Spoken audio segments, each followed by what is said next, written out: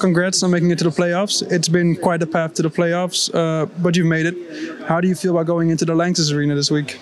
I'm super glad that we qualified. This was uh, our mini goal that we wanted to achieve. We wanted to qualify for the arena because we um, we did so much work past uh, 10 days before the tournament in boot camp in uh, Netherlands.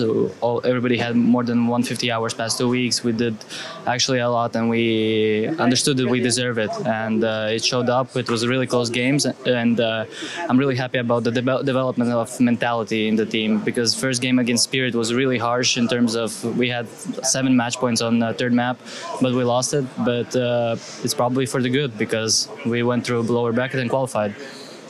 Yeah, and uh, yeah, we knew the difficulties were coming into a new team and environment. And as you just touched on, now that you've spent uh, about two weeks with the guys and made this run, how do you feel it's going? Uh, it's, it's going pretty good. I still uh, feel that um, maybe some uncomfort because uh, I'm still not on the same page fully uh, with my teammates, and uh, but maybe I'll gonna I'm gonna get it uh, like in playoffs or something. But uh, there's al- always some mini situations that uh, we always talk about after game because I need to share my thoughts and they share your, their thoughts, and that's how we are improving like day to day, game after game, and. Um, that's that's what allowed us to win today and uh, qualify.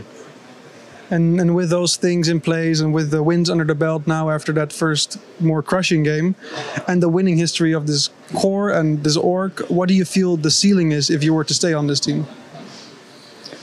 Uh, well, obviously, I'm gonna say that there's no ceiling. Uh, you can be the best in the world. You can win all the tournaments. Everything is in your head, and obviously some talent. But uh, everything is possible. They proved it uh, before, and uh, the only one who didn't prove it is uh, oSee and me. And uh, we're like Josh. I can't say about me obviously, but uh, Josh is obviously a uh, really promising player. I really like his self-criticism and will to learn.